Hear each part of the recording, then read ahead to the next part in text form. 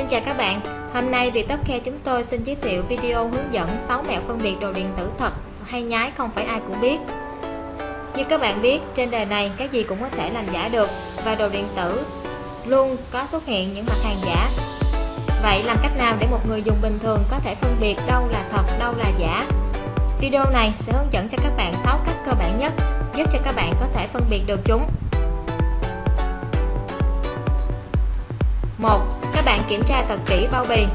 Với những sản phẩm chính hãng, bao bì thường được làm rất cẩn thận và tỉ mỉ, nhất là phần siêu máy. Nhưng với những sản phẩm nhái, phát thường được đóng bao bì sơ sài, các bạn nên chú ý đến chất lượng in của vỏ hộp, không chữ phải rõ ràng, các đường mép sắc nét, không bị rách hay mất méo. 2. Các bạn đừng bỏ qua chi tiết sách hướng dẫn Tất cả những thông tin quan trọng về sản phẩm bạn định mua phải được viết bằng ngôn ngữ của quốc gia, nơi sản xuất mặt hàng đó.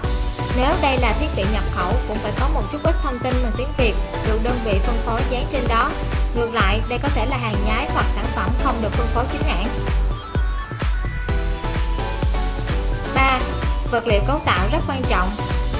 Đối với các thương hiệu nổi tiếng, sẽ không bất chấp lợi nhuận mà sử dụng vật liệu quá rẻ tiền Nhựa, cao su hay nhôm trên các thiết bị xịn thường có độ hoàn thiện cao, cái đường mép sắc sảo, gờ nói phải mịn. Ở mặt hàng nhái, nếu tinh ý quan sát các bạn có thể nhận ra được các bất điểm này.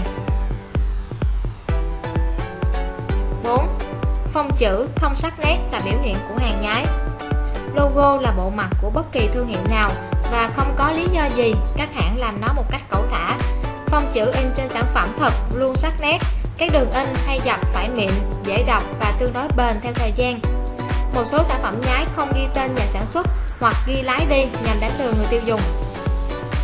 5. Sạc pin Mặt hàng được phân phối và nhập khẩu chính hãng từ các thương hiệu lớn thường đi kèm củ sạc có đầu cắm phù hợp với ổ điện của thị trường đó. iPhone hay các điện thoại Samsung là một ví dụ. Trong đó, hàng được phân phối chính hãng ở Việt Nam sẽ là loại củ sạc dẹt, chân sạc tròn. Sạc xịn sẽ đồng nhất về màu sắc, được hoàn thiện sắc sảo, phần kim loại luôn sáng bóng, không có chi tiết thừa, nhất là điểm nối giữa hai loại vật liệu. Một sản phẩm chất lượng luôn được đầu tư kỹ lưỡng cho sạc bởi các nhà sản xuất hiểu và chịu trách nhiệm về sự an toàn của người tiêu dùng. 6. Cáp kết nối hoàn thiện kém Chất lượng của cáp kết nối là một trong những dấu hiệu để bạn phân biệt hàng thật và hàng nhái. Phụ kiện của sản phẩm xịn luôn, cứng cáp, bền chắc và chất lượng hoàn thiện đồng đều. Còn đối với đồ nhái bạn sẽ thấy các khoảng thừa, màu sắc không thống nhất, hình in bị nhè.